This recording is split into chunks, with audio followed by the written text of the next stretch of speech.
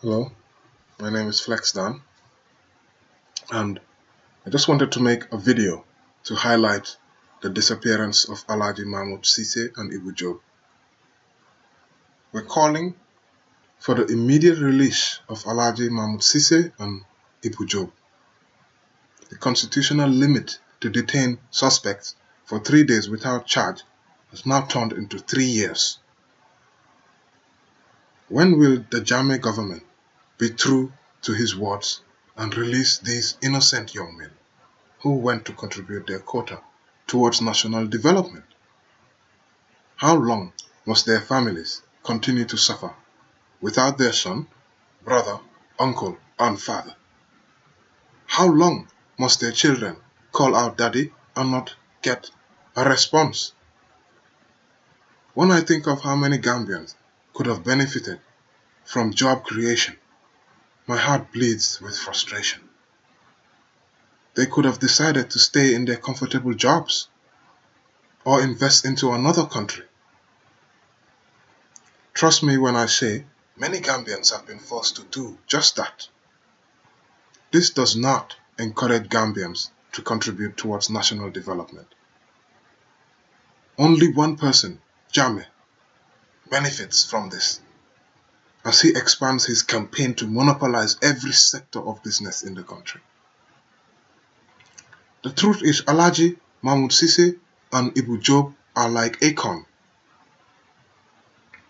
We all know Akon is busy lighting up Africa.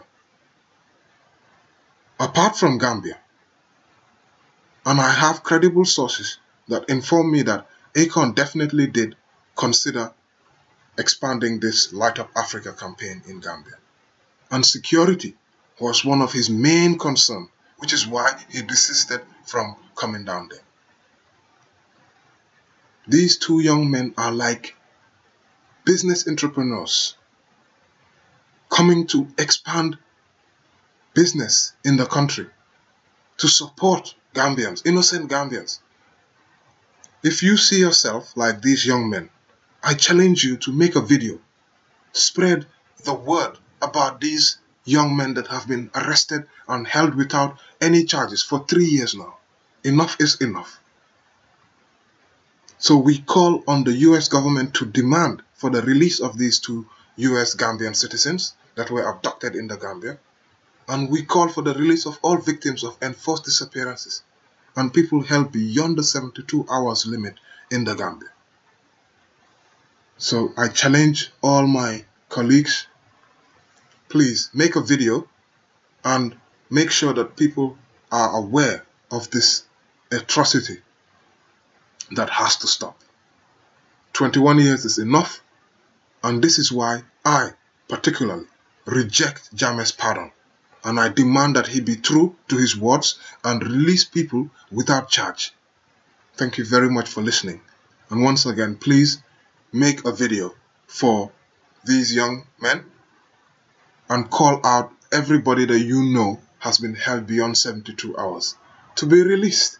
That's what the Constitution says. That's what the law says, not what we are saying. So um, thank you very much. Please keep on advocating for the enforced disappearances and people held without trial. Enough is enough. We are sick and tired of Gambians being forced to stay out of their country. Those within their country being forced to flee. Enough is enough. Enough of that. So enforced disappearances no more. Um, thank you very much. Please, I challenge you. Go on, make the video make sure that people are aware of these young men and the countless others forced into exile and those in disappearances. Thank you